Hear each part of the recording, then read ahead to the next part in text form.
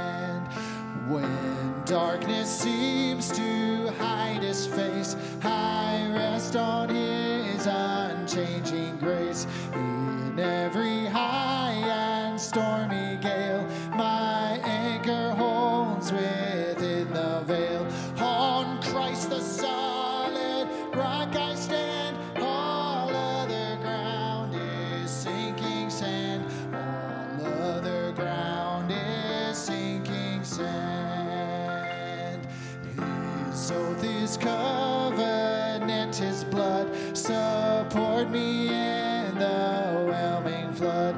When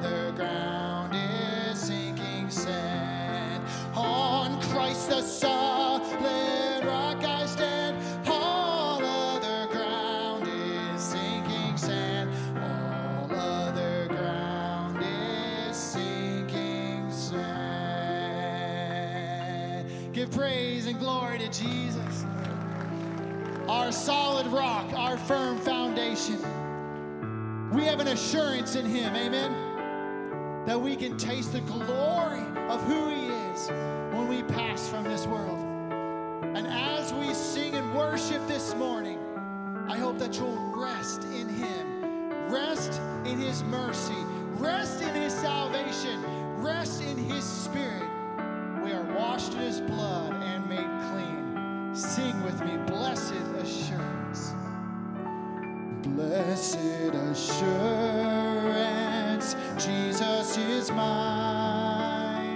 Oh, what a foretaste of glory divine, heir of salvation, purchase of God, born of His Spirit, washed in His blood. This is my story.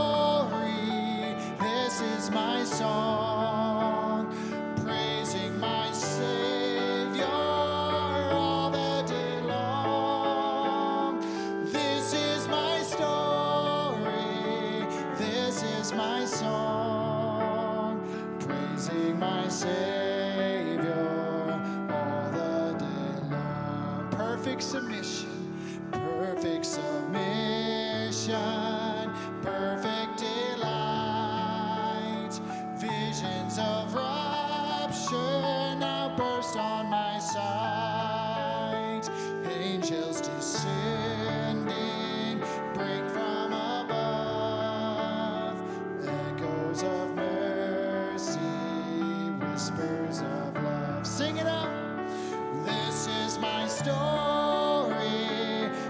is my song.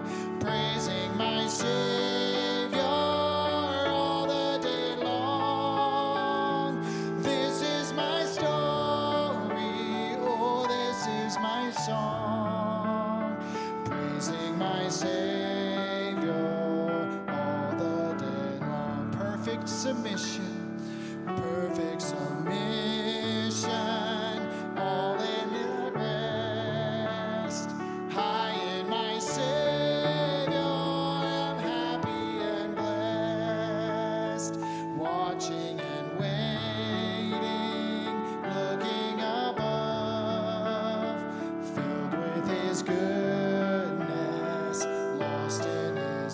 My story.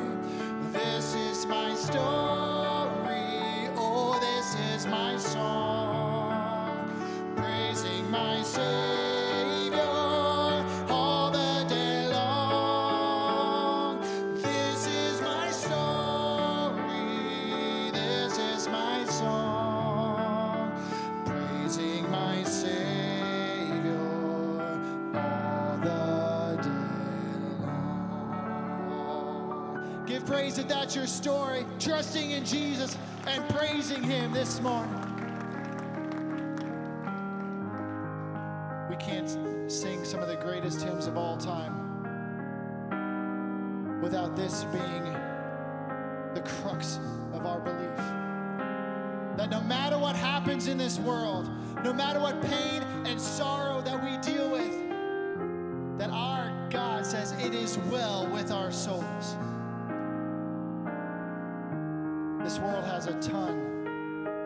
Weight against us, amen.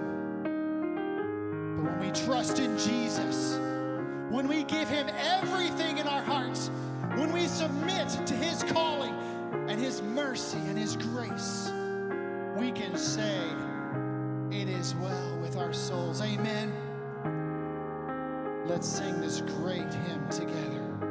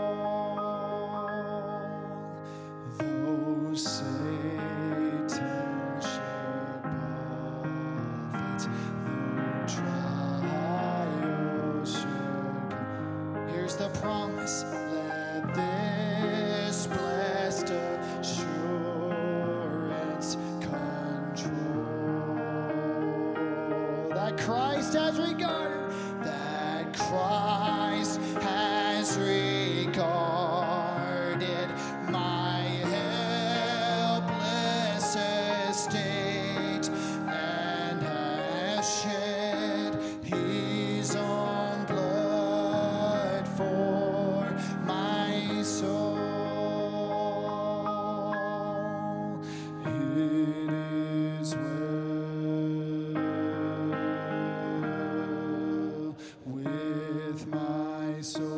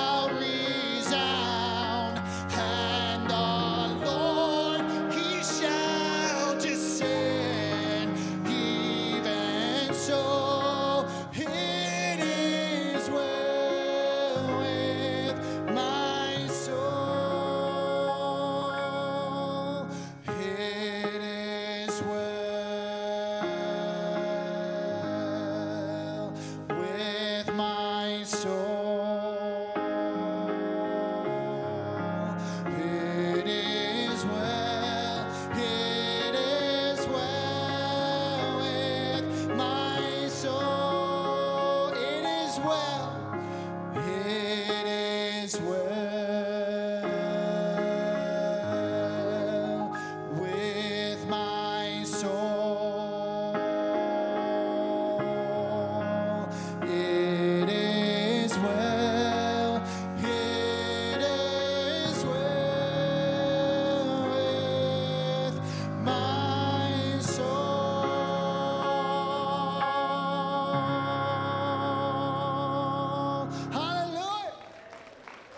Let's sing that together.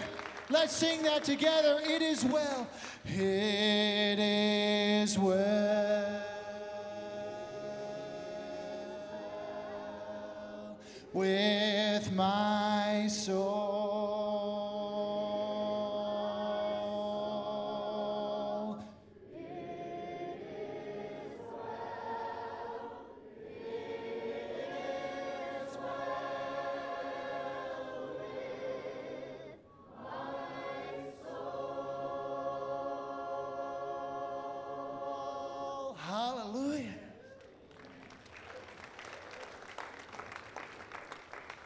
Heavenly Father, we are yours and you are ours. And we thank you that we can wake up in the midst of turmoil and pain and sorrow and know that it is well with our souls, that our joy comes from you and you alone, that our strength and our passion and our love and our grace and our mercy comes from you and you alone. As we enter into this season in our yearly calendar where we are reminded of your sacrifice, we know, God, that every morning and every breath we take is because of that sacrifice. Every morning we wake up, we should be thinking about the price you paid on that cross of shedding your blood for us so that we can be resurrected in your name from the ashes of sin and death. And next Sunday we will celebrate that. But God, we should be celebrating that with every breath we take. We love you, Lord, for who you are and for what you've done in our lives. And God, we thank you for your, your grace and your mercy and the pain that you sacrificed and bore on that cross for us. For in the midst of that pain and that sorrow that you suffered, we do not have to suffer eternal death. We get to live with you forever in a joy unmatched. Thank you for allowing us the privilege of saying it is well with our souls as we grow close to you. It is in your name we pray this morning. Amen. You may be seated.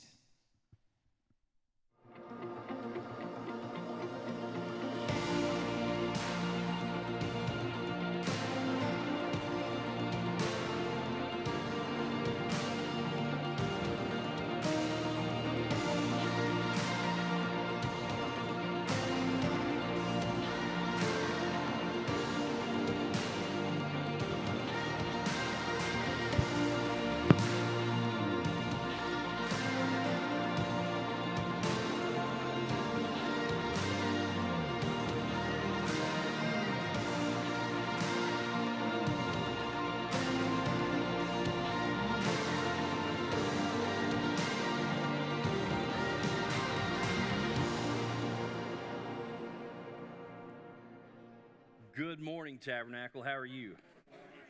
Hey, wasn't that good singing? Amen. I'm, I'm, I'm thankful for that. Did anybody notice that Miss Susan was playing something new up here on stage? Doesn't that sound good? I want to tell you what I am most thankful about uh, the new, you know, in Kentucky, that's a piano, right? Uh, the thing I'm most thankful about is that it weighs 277 pounds because the old one weighed 2,077 pounds. Uh, but yeah, yeah, didn't Miss Susan do a good job? Give her a round of applause. I know she doesn't want that, but she is faithful, and uh, we just are so thankful for her. Hey, if you've got a book, uh, a book, the book this morning, turn with me to Exodus chapter 12. Exodus chapter 12. As you're turning there, I'm trying to find my notes. Here they are. Now, I had a lady in my very first church who every once in a while would steal my notes out of my Bible. I'm not making that up, am I, Jenny? Because she said I preach better without them. So I don't know really what to make of that. It is our last Sunday here in the gymnasium. I've got to be honest, it's a little bittersweet. Uh, I, I am looking forward to having our Easter service in our newly renovated uh, not sanctuary, but just the renovated stage. Uh, but at the same time, I think I'm going to miss being in here close with you, uh, singing and worshiping. I told somebody this morning it's really a lot easier for me to get around to see people because you're all in one spot. And, um, and so I'm going to miss it a little bit, but I am going to be thankful. Uh, just one thing I want you to put on your calendar how many of you own either a vacuum cleaner or a box of rags? On Tuesday morning, we're going to be cleaning because we want we got company coming on Easter, right? We want our sanctuary to be clean, a lot of dust, a lot of debris. Uh, we've been cleaning along the way, but it needs a good, thorough Central Illinois deep clean. About nine o'clock, if you guys want to show up, uh, we are going to do a deep clean. I'm going to put Rick Borderwick in charge of that. He doesn't know that. Rick, you're in charge. Where, where are you, Rick? He left. He, he didn't want to, he knew that was coming. Um, but any, anyway, uh, Tuesday, 9 o'clock, we're going to be uh, hopefully getting the, the deep clean done.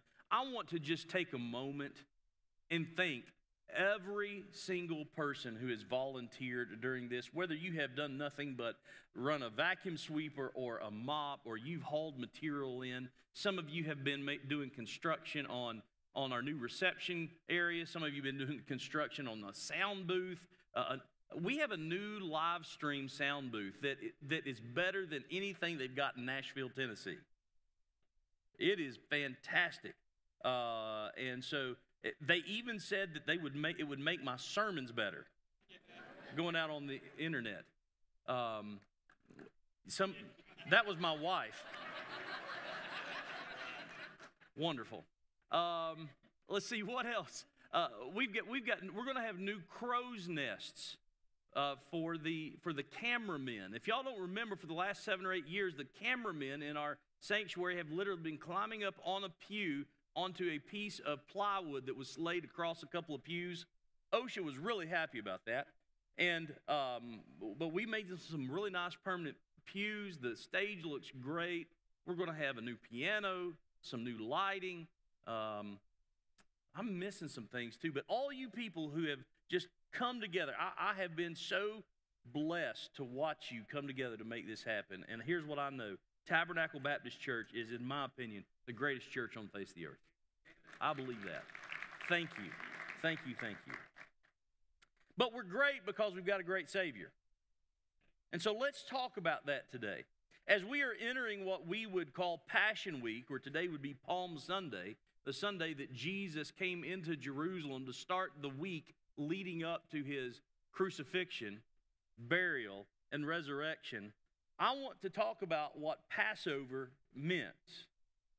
They were in Jerusalem celebrating this feast called the Passover, celebrating this festival called the Passover.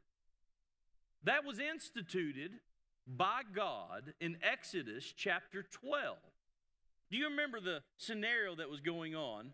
Um, Israel, the, the Hebrew people, were slaves down in Egypt. Y'all remember that?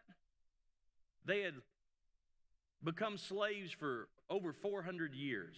And they finally were crying out to God and saying, God, would you deliver us from these evil taskmasters, the Pharaoh? And so God sent them a deliverer. His name was Moses. And Pharaoh would not let the children of Israel go. He used them as literally slave labor to build things. Um, and so as, as they were trapped under this horrible regime, God sent plagues upon the land of Egypt. And man, the, some of these plagues were crazy. They were, the water turned into blood.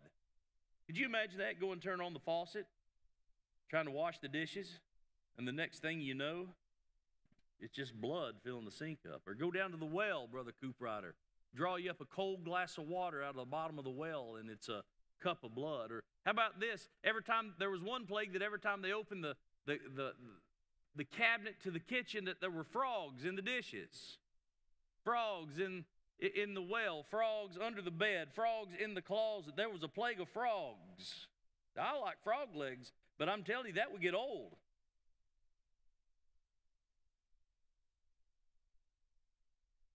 Plagues of flies, plagues of different sorts.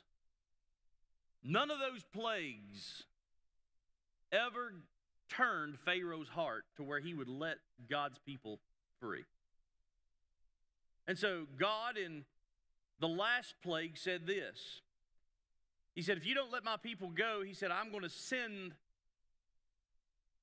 a death angel to kill all of the firstborn, not just of the families, but I'm going to kill the firstborn of all of the livestock. And now you would think that God, who had done all these plagues and accomplished them, who that Pharaoh would have looked at him and said, "Okay, this is kind of something I'm taking seriously," but evidently Pharaoh didn't. Pharaoh said, "Well, if God thinks he can kill all the firstborn of both every family and of all the livestock, just let him." And so God sent a word to the children of Israel. And here's what he said He said, I'm going to send the death angel over all the land of Egypt, which they were in, by the way. He said, Here's what I want you to do. Exodus chapter 12 takes this. He says, I want you to take a lamb and I want you to bring it into the house. Let's just read that. Chapter 12.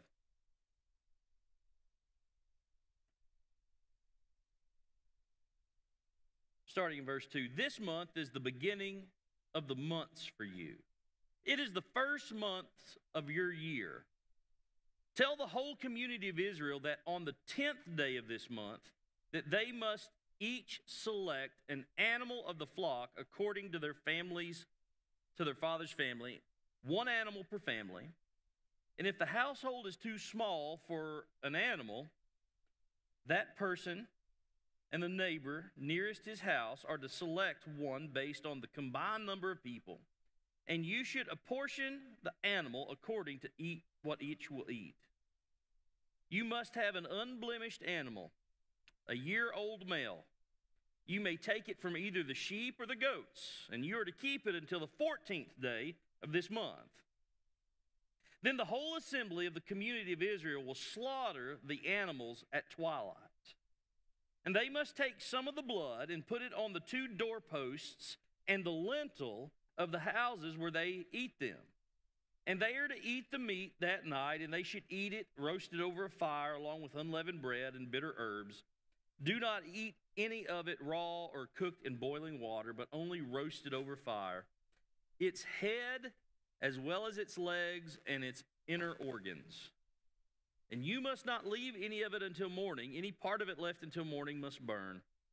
Here is how you must eat it. You must be dressed for travel, your sandals on your feet, your staff in your hand, and you are to eat it in a hurry. It is the Lord's Passover. Could you imagine this? They've never heard anything like this before. God's already calling this the Passover. They don't even know what a Passover is. And then in verse 12, he says this I will pass through the land of Egypt on that night and strike every firstborn male in the land of Egypt, both the people and the animals. I am the Lord. I will execute judgments against all the gods of Egypt. The blood on the houses where you are staying will be a distinguishing mark for you. When I see the blood, I will pass over you. No plague will be among you to destroy you where I when I strike the land of Egypt. And so God told the children of Israel there is a plague coming, and it is a plague of death. And the way that you avert this plague of death is you have to take this little lamb or this little goat and you bring it into your house on the 10th day of the month. And then from the 10th day of the month to the 14th day of the month, you let this little lamb or this little goat be in the house with you. Think about that for a second. Oh, there's nothing cuter than a little lamb. Man, have you ever seen a little lamb jump? They can jump this high. if you want to see something cute, did I say cute from the pulpit? If you want to see something cute, go to YouTube and Google baby goats. They're the cutest thing in the world. They jump and kick and buck and roll and do all kinds of stuff. and It's just wonderful. Could you imagine falling in love with that little baby lamb, that little baby goat over about a period of four days? But then there's something that happens.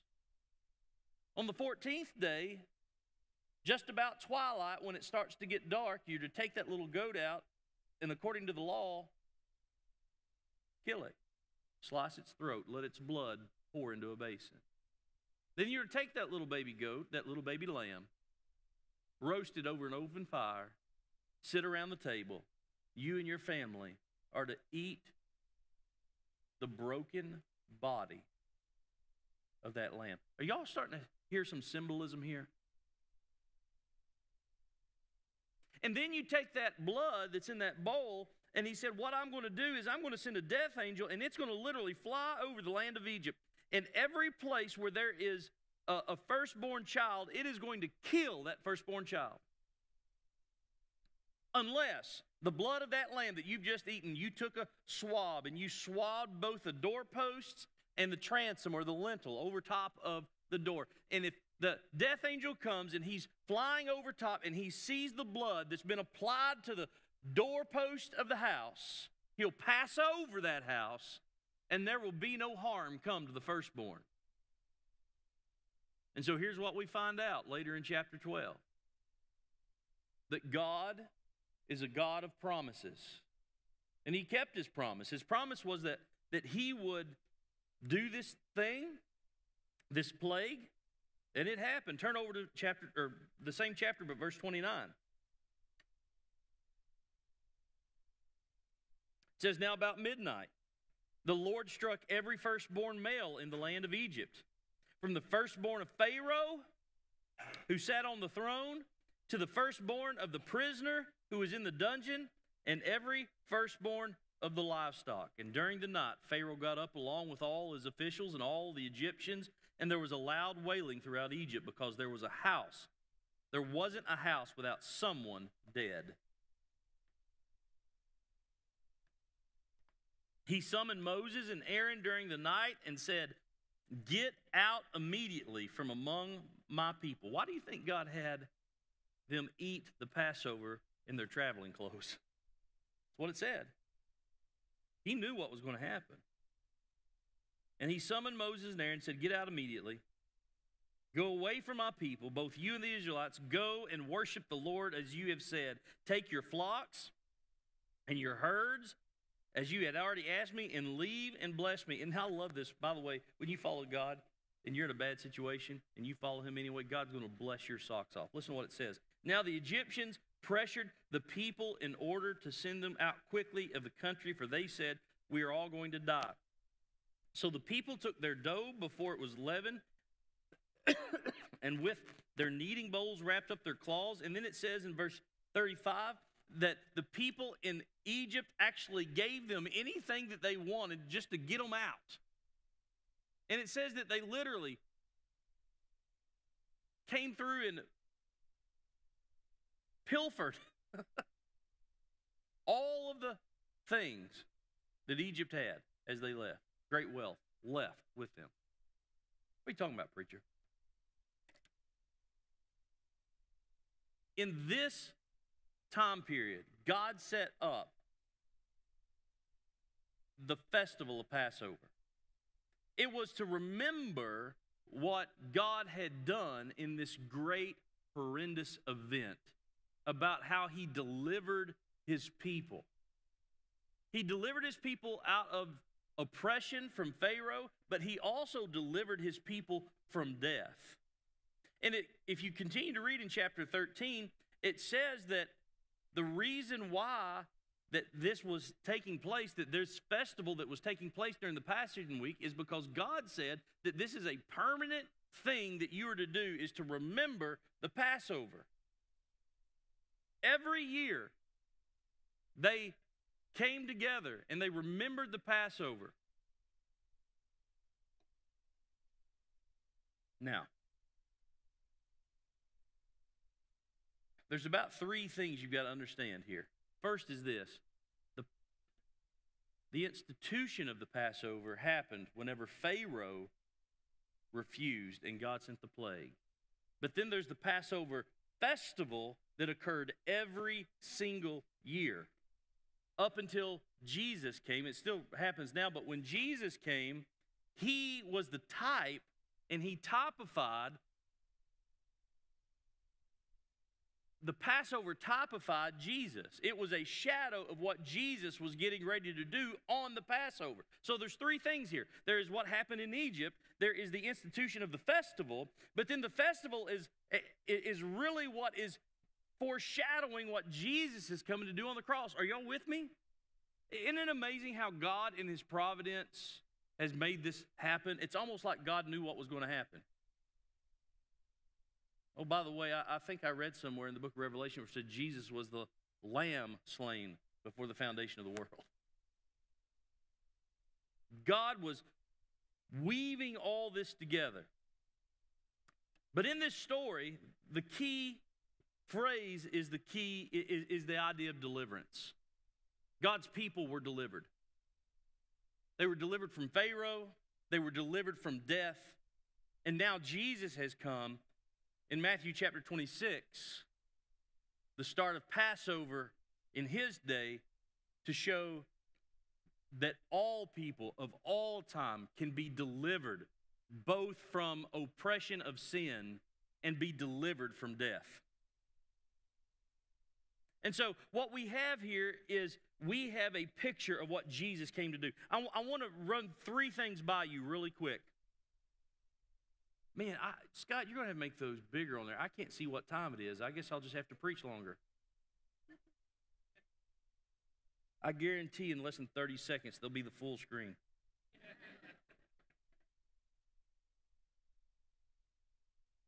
I want to talk to you this morning about deliverance. Listen, God's deliverance from sin and death, from bondage and death, always involves substitution. There has to be a substitution in order for there to be a deliverance. When you look at the Old Testament and you look at G in the in, in in the plague, and then you look at Jesus, listen, there, there was a lamb, and his death was a substitute for that of the firstborn son. Anywhere that did not have a lamb that was killed and the blood on the doorpost in the lintel of the house, that son died. Therefore, the, the lamb was a substitute for that death. This was the only way. There was no other way to subst- or to escape the plague except by God's provision of a Passover lamb. There had to be a substitute in order for your son not to die. It was inescapable, it was horrific, it was absolutely devastating. This plague knew nothing about class, it knew nothing about power, it knew nothing about wealth or fame or prestige. It did not differentiate between peasant, pauper, or potentate. It was Pharaoh. Even the greatest king in the entire world, his son died. You know, earlier, whenever there was a mass exodus of children, Pharaoh missed one. Y'all remember that story? The Hebrews got too plentiful, and Pharaoh said, Well, let's go kill some. And they missed one. Do you remember what his name was? Moses. He missed at least one. But God didn't miss a single one. From the palace to the prison to the pig pen, there was not a single one that God missed. And yet, the only way to escape this horrible thing was by a substitute. Can I tell you this morning that if you're saved or you are law, you're saved by a substitute. And if you're lost and you need to be saved, there's nothing that you can do yourself. It takes a substitute for you to be saved. You see, when Jesus was hanging on the cross, when he went to, to the cross, he took the full punishment of God's wrath for you. Every sin that you've ever committed, everything that you've ever done that offended the Lord God, Jesus, in a matter of hours, paid for that sin. Think about that. You know, I remember growing up. I remember growing up and I would get in trouble. And for some reason, because I was the oldest, whenever the other cousins were around, I got in trouble when they did dumb stuff. Anybody else remember that? Go out on the creek when the ice is frozen over and they fall through and I'm completely dry and I get I would like to say three licks, but it's probably more like 10. Why? Because you're the oldest, you're the substitute. Can I tell you something? This morning, if you're under the sound of my voice and you're lost, and you've been trying to work out your salvation through what you do, you need to understand that there is no amount of work that you can perform that's in the spiritual realm that will ever cause you to be right with God. What you need is a holy substitute. You need to take all of your sins and by faith tell God that you want to see them put on the cross. And by the way, he's already done this and believe that God has God has put your sins on the Lord Jesus and paid for those sins. The same way that I paid for my little cousin's mistakes, Jesus has paid for yours. Think about that for a second. He was a substitute. That little lamb was a substitute. Man, but God's deliverance not only not only always involves a substitute, but God's deliverance also involves separation. It always involves separation. The Passover was God separating the Hebrews from Egypt. He was cutting off all that had rule and power over them. He annihilated a generation of firstborn men. And just as Pharaoh had done this to the Hebrews, God did it to sever them from the grips of slavery. God was separating them from something, but He was also separating them to something. Can I tell you that when God delivers you through the substitute of the Lord Jesus Christ, He delivers you from the power of sin that once held you captive, but He's also delivering you unto Himself and through the power of the Holy Spirit, He delivers you to a life that is greater and better than anything you could ever imagine. There's a lot of people who believe this. They believe that they can accept the Lord Jesus as their Savior, but not take Him as Lord. They believe that He can save them from their sins and save them from the fires of hell, but they do not have to live godly. Can I tell you that when God separates you from sin and He delivers you unto a new life, the power of the Spirit of God so indwells you that you cannot live the way you used to. The Bible says in 2 Corinthians chapter 5 verse 17 that we are new creatures in Christ Jesus. Ezekiel chapter 36 says that we are once had a heart of stone, but now we have a heart of flesh. Ezekiel 36 also says that the Spirit of God now works in us and causes us to walk in God's statutes. If the Spirit of God lives in you, you will walk the way that God has caused you to walk, called you to walk. There is a separation there. And so some of us believe this that we got saved maybe when we were a little kid. And yet it caused no distinct change in our life to cause us to walk in holiness. God separated the Hebrews from the Egyptians. And through the blood of Jesus, He's separating you from the power of sin and death. Now, does that mean Christians don't fall or Christians can't sin? Absolutely not. But according to the book of First John, you can't continue to do it and not be convicted by the Spirit of God. You can't live in sin happily You can't. And so, God in His deliverance always involves a substitution and it always involves separation. Ask yourself the question. 1 Corinthians chapter 13 says this Examine yourself to see that you be in the faith. Is my life the way that I live? Am I happy in my sin? Can I continue to live in my sin and be okay? If you can, there's a cause for concern according to the scripture. God's deliverance always involves a sacrifice. So it involves a substitute, it involves separation, but it also involves a sacrifice. There was a lamb that was slain. He was slain in a specific way. He was chosen on the 10th day of Nisan, the month, and slain on the 14th.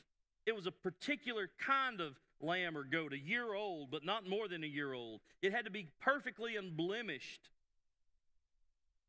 Uh, do you realize that God has said that when He wants to deliver people from their sins, they have to come a specific way?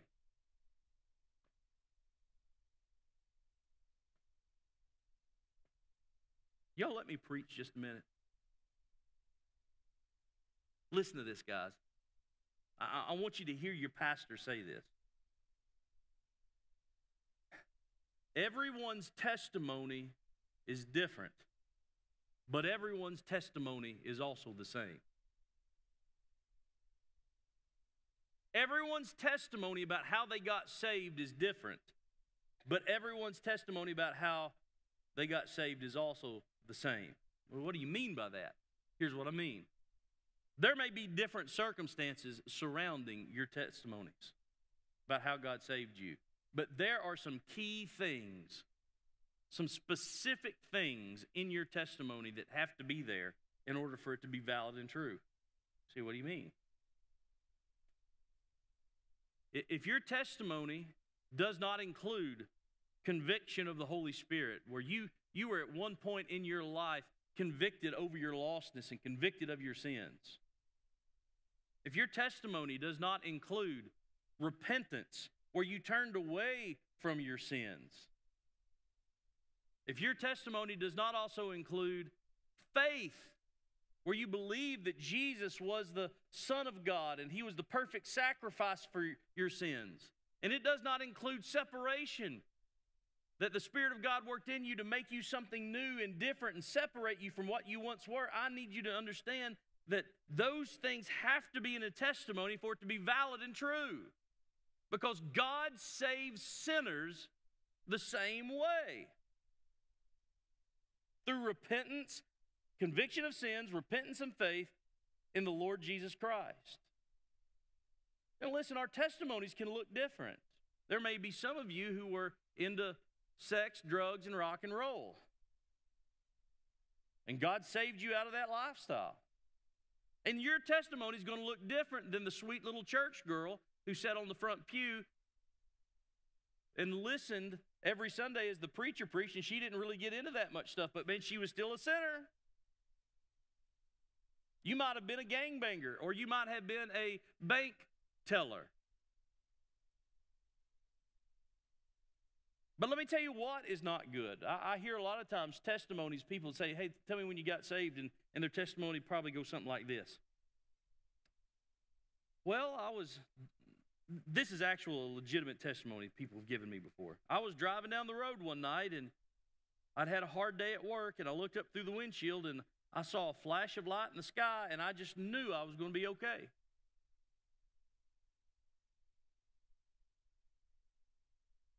I'm going to tell you something. I'd hate to step out into eternity with a testimony like that. I've told this one before, but there's a guy going in for heart surgery. Here's what he said. He said, I knew that I had this big thing coming up and I didn't know what to do and I was a little concerned about my life. And, preacher, I'm okay because here's what I did I went behind the barn and I drove a tomato stake in the ground. And I told the Lord, right there, that's where I'm laying it down. Laying what down? He said, I, I don't know. I'm just laying it down. Tomato stake? Again, I'd hate to step out into, into eternity with a testimony like that. See, God saves people in a very specific way. He saves them through the sacrifice of His Son. He sends the Spirit of God to cause you to be afraid for your sins, to have a fear that's holy of God, to tremble before the King of Kings and the Lord of Lords who literally holds your life in the balance. He, he sends conviction from the Spirit. And then through that, you repent of your sins and trust in Christ, and God makes you a new creature. It's a very specific thing, even though the circumstances may look different. In the same way that there was a specific plan for the lamb in the Old Testament. Guys, this Passover lamb in the Old Testament typifies Jesus and what he was going to come and do. Listen, Jesus, this is so unbelievable. So, like I said before, it's almost like God planned it. The lamb was chosen on the 10th day of Nisan and slain on the 14th day of Nisan. The Passover lamb, Jesus, entered Jerusalem, guess when? The 10th day, and he was crucified on the 14th day. He had delivered us from our sins by substitution. He took God's wrath in our place. He delivered us by separation. He separated us from the world and is separating us unto righteousness. He delivered us by becoming a blood sacrifice, the same way that the lamb was a blood sacrifice. He gave himself up like a lamb led to the slaughter. Romans 3 25 says this God presented Christ as a sacrifice of atonement through the shedding of blood to be received by faith. What God did in the Old Testament just typified and foreshadowed what Jesus was coming to do for you 2,000 years ago.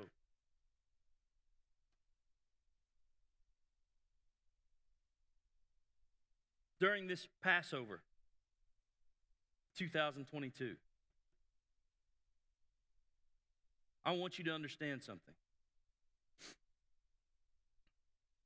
That in the first Passover, every Hebrew house had to apply the blood of the slain lamb to the doorposts and the lintels of their house. The sacrifice of the lamb. I want you to hear the sentence. Everybody, listen to me. That, that was really suave, wasn't it? Seriously, everybody, listen to me. If you're lost this morning, if you don't know Jesus this morning, if you know that you stepped out into eternity, I want you to hear this.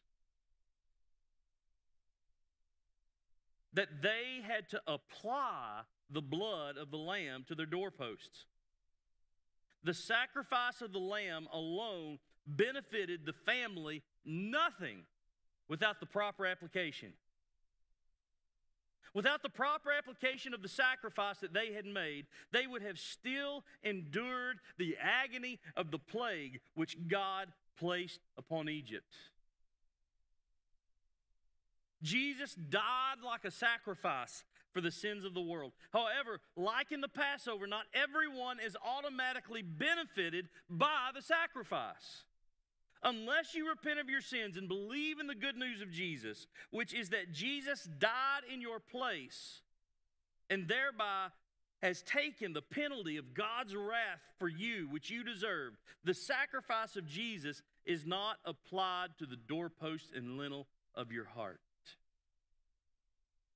If you're here this morning under the sound of my voice, you need to understand that God, from before the foundation of the world, has set his eye of affection on you. God has loved you so much so that he set up this whole long thing to be a foreshadowing and a type so that you might understand that he sent his perfect son as a sacrifice and you don't physically do this but you in a spiritual way through repentance and faith, take the blood of Jesus and apply it to the doorpost of your heart and the lintel of your heart so that one day, whenever the death angel passes over you, you will not die. You know, in the book of John, it says that the believer never dies. He never experiences the sting of death. Yes, this earthly shell, this body, this as my good friend Roger says, this earth suit. It may pass away, but you never die. And you never experience the pain of death because you've applied the blood of Jesus to your heart. Can I tell you what my heart is this morning as your pastor? If you can't see the passion this morning, my heart is this is that no one in this room would step out into eternity and let the death angel pass over them and not have the blood of Jesus applied to their heart.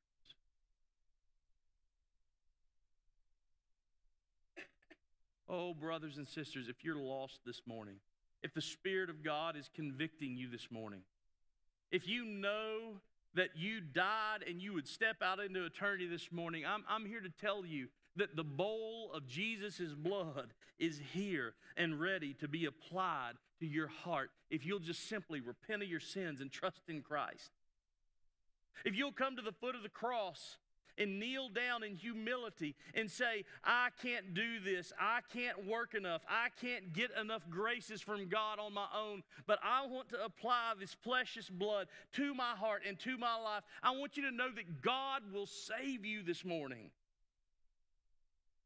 I beg with you, I plead with you, I admonish you this morning. Don't wait another minute. Don't wait another day.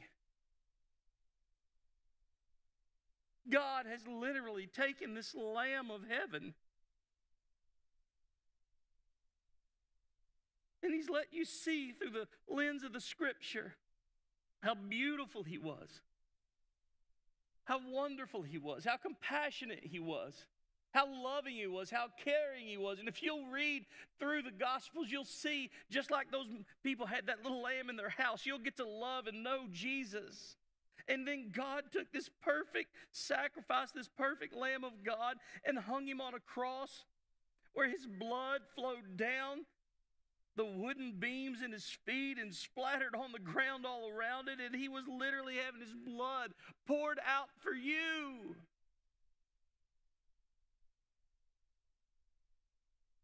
Oh, to reject such an offering, to reject such a sacrifice.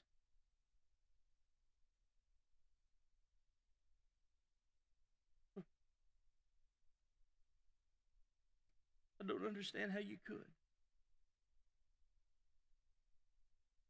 This morning, I want to invite you if you're lost, if you need the Savior, the first thing that you have to get over is this what everybody else is thinking about you. I'm going to ask you guys to stand, and as they're coming, we're going to have a hymn of invitation. I don't know how they're going to do that, but I want to tell you a story. I want to tell you a story about a man that I know that I probably haven't seen in 20 plus years.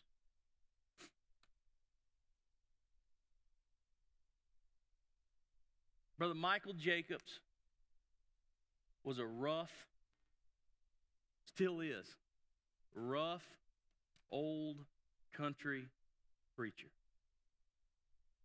Started in an independent fundamental Baptist church. You got to understand that a lot of times in the IFB churches, if they want to go start a new work or a new mission, they don't have a mission board to go to. They have to go around to all these different churches. And they'll they'll ask for finances and people will start to finance them.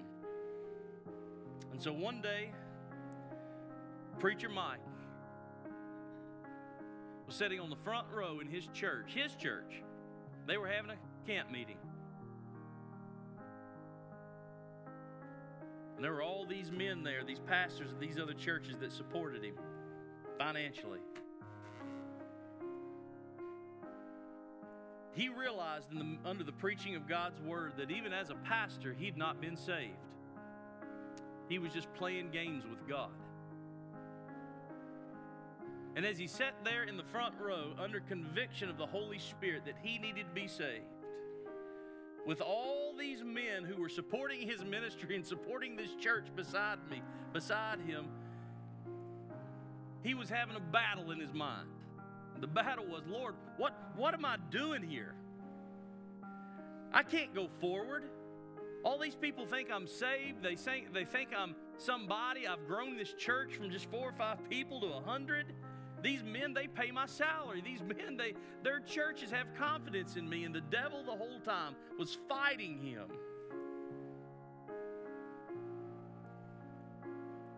And finally, through the power of the Holy Spirit, I love this phrase. He was so under conviction, he looked around at all the things that were there his church and those men that were supporting him and what everybody thought. And here's the phrase he said I'm not going to hell for anybody. I'm not going to hell for anything.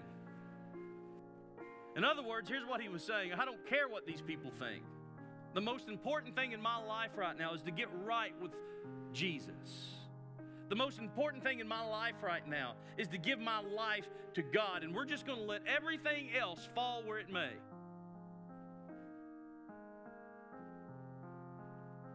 Can I tell you something?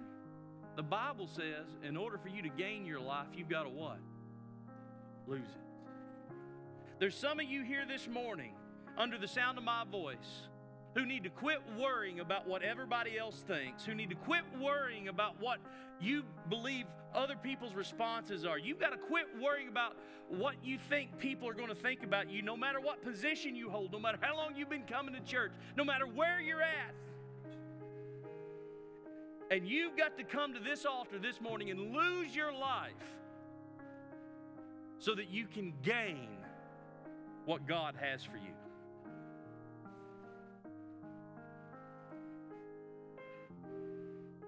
There may be some of you this morning who've got family members that you know are lost. You need to come to this altar this morning and you need to pray for them. You need to get them here for Easter. You need to get them here to this church. You need to get them under the sound of the gospel. You come this morning too. You got to do business with God, you just come this morning in Jesus' name. Father, I pray that you'd bless this time together. Lord, help us now as we as we see you do your work. Amen. Every head bowed, every eye closed this morning. If you need to come, flood this altar. You come now. Thank you for the cross, Lord.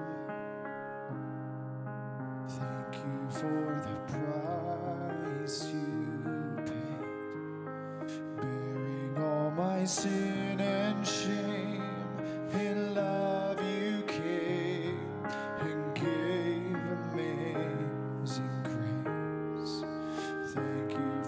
For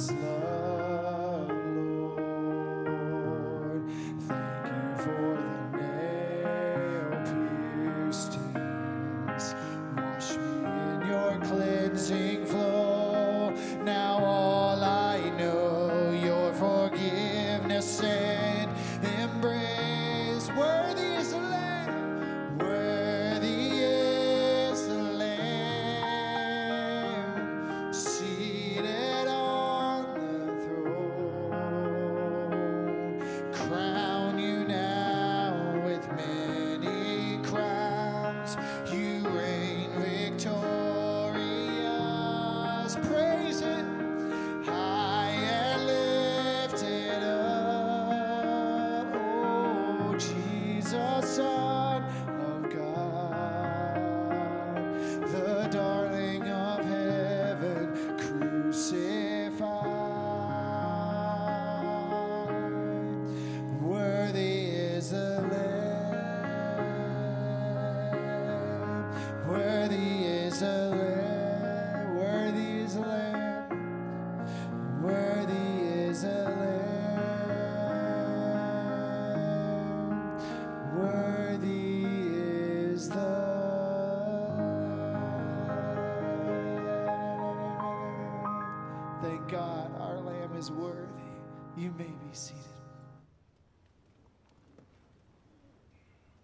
Morning, church. As we continue our time of response, we want to get ready to just uh, lead us in a time of praying for our offering. But first of all, uh, we want to make sure to welcome any guests who may be here worshiping with us today. If you are a guest, we are extremely excited and privileged to have you here worshiping with us today. Uh, our pastor, Pastor Carlton, would love to introduce himself to you and maybe share with you or answer a couple questions that you may have about the ministry of Tabernacle Baptist Church. The best way for that to happen is to head right outside of those doors. Uh, him and his wife Jenny will be out in an area that we call Take Five, five minutes with the pastor, uh, just to know a little bit more about him, a little bit more about the life of the church, and maybe how we can minister to you. Uh, also, as we get ready to take the offering, this morning I was just reminded, thinking through Corinthians chapter 2, or Second Corinthians, uh, offering gets to be normal. It gets to be something that's a rhythm. I have to come up here every week and try to give you guys something fresh to remind you of what we're actually doing. And uh, Second Corinthians tells us that it's a, a joy and to give back to the Lord. And, and, and, it reminded me of the fact that what the scriptures tell us is as Jesus got ready to lay down his life, he counted it as a joy to lay his life down for us. So many times I can do it myself. We get in a habit and we even consider it a bill or something that's regular or just a routine to say, I'm going to give back a portion of what God has given to me so that see the kingdom grow. Guys, this morning, don't see it as a habit. If it's been a habit for you, remember what Jesus did for us on the cross, what we're going to remember, what he did for us here this week. Remember what we're called to do is sacrifice just a portion of what he has given uh, uh, for us, reminding us that the greatest gift of generosity is what he did for us at the cross. You guys, this morning, be generous. If you're struggling with generosity, don't give. Get ready for your heart to be right to give, then give in however a way God is calling you to do that. There's a couple different ways you can do that. You got the, uh, the boxes uh, as you exit, obviously, uh, but also online, tbc.church is a way for you to give online. But no matter how you get, give, uh, through practically, make sure our hearts are right and giving back, remembering the greatest gift of generosity, what Jesus did for our sins. God, we thank you for that gift. God, I pray that uh, whatever is given today, you utilize that in order to take the name of Jesus Christ to the ends of the earth. God, we so desperately need your love. We, we often think of the things that we need, but truly, God, what we need is to be connected with you, to be reunited with you, to see people who are in a broken relationship, separated from you, brought to you through the blood of Jesus. God, I pray that you use these gifts in order to do that. It's in Jesus' name we pray. Amen. Good morning, Tabernacle. I'm Stephen, and here are your announcements. Coming up Sunday, April 24th, is Bagels and the Bible. This is a joint Sunday school class where all adult Sunday school classes will meet in the Family Life Center at 9 a.m. Session 3, a family discipleship night, begins Wednesday, April 20th at 6 p.m.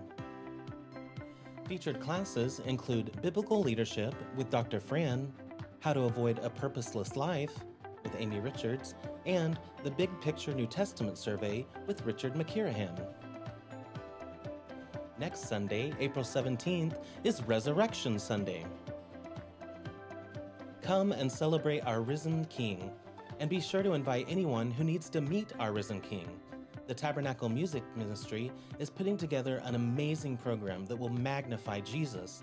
The service begins at 10:30 in the newly renovated auditorium. Next Saturday, April 16th, is Eggstravaganza. Eggstravaganza. There will be games, egg hunts, food, bounce houses, yard games, and more. Be sure to pick up an eggvitation and invite a family today. This Wednesday is Operation Saturation at 6 p.m. We will outreach to our neighbors in the Megan DeMoffat neighborhood and invite them to join us for Eggstrav and Resurrection Sunday. Oh, oh. And coming up today, following the service, there's an extra packing party in the loft. Music, food, and fun will be provided.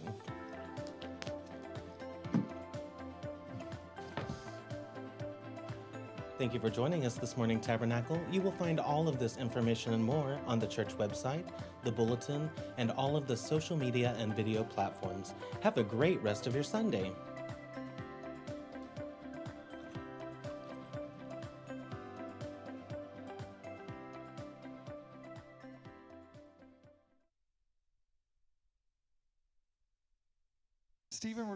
Ones that you spit out that you ate at the end?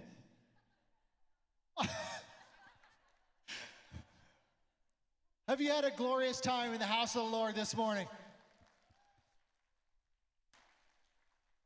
Just, this is so exciting. And I want to tell you that Easter morning is, is a time for us to celebrate the resurrection of our Christ. And, and I want you to know that we are going to have seven baptisms on Easter morning next week. There is so much to look forward to for next week. Prepare your hearts and your mind for worship and invite somebody to come with you to Tabernacle next week. Can you do that? All right, let's stand to our feet as we dismiss. Heavenly Father, we felt you move in this place this morning as we sang our worship to you, as we worshiped, as we studied scripture, as we worshiped, as we prayed and praised your name. God, I pray that our words were sweet to your ears this morning, as you are worthy of all of our praise. Send us out to be a light into this community. Help us to come back next week with hearts and minds and souls prepared to give all that we have for you because you gave the greatest sacrifice for us. We thank you for this morning and for this church and for your people and for your love. It's in your name we pray. Amen. You are dismissed.